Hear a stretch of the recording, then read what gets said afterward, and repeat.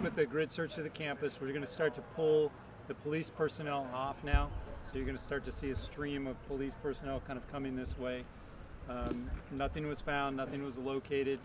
Uh, they're going to leave the kids sheltered in place just for a little bit until we get our personnel off. That way we don't have kids interacting with the students. As soon as we get our personnel off, then the school decide kind of what they're going to go to, uh, potentially lunch or something like that. Uh, but then they'll resume their normal school day after that. Again, um, we had a single report of a gunshot possibly heard. There's nothing seen, uh, nothing to uh, cause us to believe that any of our students were ever in danger. But out of an abundance of caution, we checked the campus.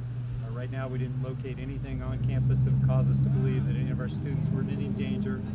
again, we do this as a matter of routine just to make sure that that's the case, make sure that none of our kids are danger or in any kind of jeopardy. So, uh, like I said, you'll start to see uh, police personnel being pulled off the campus right now.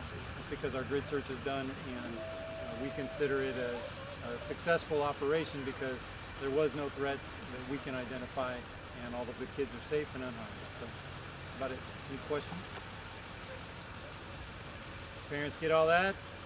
We're going to leave them kind of sheltered in place for just another second until we get our personnel off. That way we don't have men with guns interacting with our students and then they're going to be going back about their normal day uh, at the school.